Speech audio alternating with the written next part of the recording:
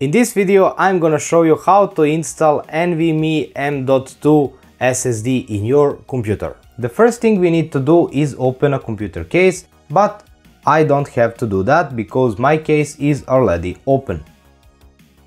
Next thing we have to remove the GPU because uh, the M.2 slot is underneath.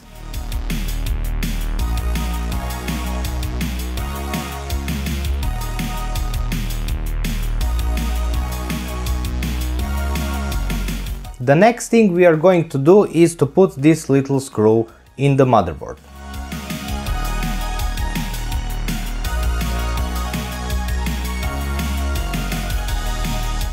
Now we are going to put the drive into the slot, but before that we need to put the heatsink on the drive itself.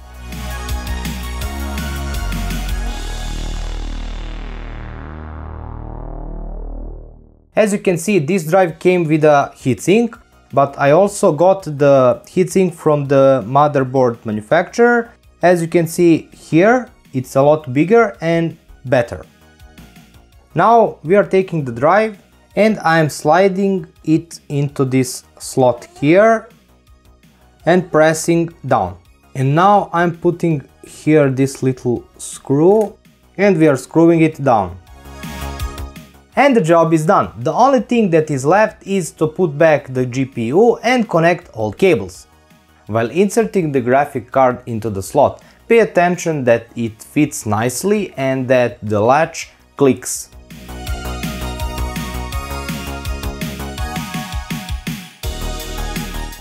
Now let's set up the drive into the operating system. As I already have the main one for the operating system, this one will be the second one. So let's do that. In start menu search for computer management. On the left side click on disk management and scroll down until you find the drive with the most unallocated space. Select it and select new simple volume. On the next page, write the size you want your drive to have. For SSDs or NVMe's, I usually leave 10 to 20 GB unallocated. Choose the letter for your drive and here write the volume label. Click next and finish. Wait a few seconds for your drive to format and then test it to see if it's working normally. And that's it, the job is done. If you liked the video, leave a like and I'll see you in the next one.